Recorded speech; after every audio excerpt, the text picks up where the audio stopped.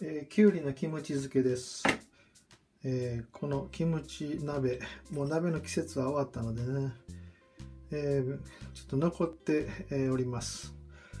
えっ、とエバラキムチ鍋の素。これを使っていきますね。まずはここに薄くきゅうりを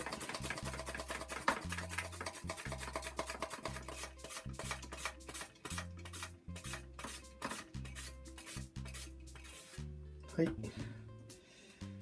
えー、それからここにですねこのキムチの鍋の素を少し入れます。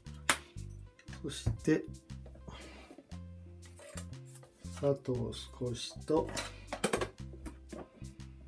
みりんです。そして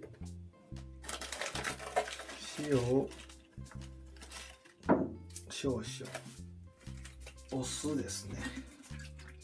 お酢を入れます。簡単酢ですね。はい。もうこれは目分量です。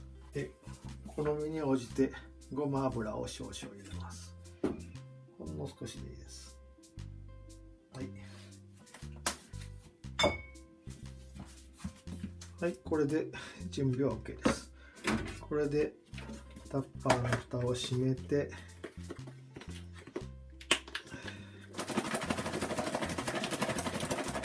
よく振ります。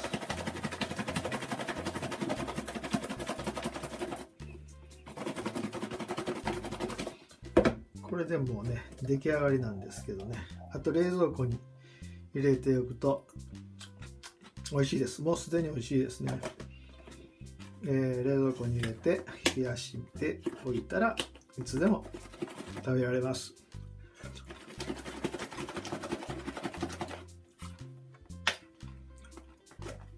はい。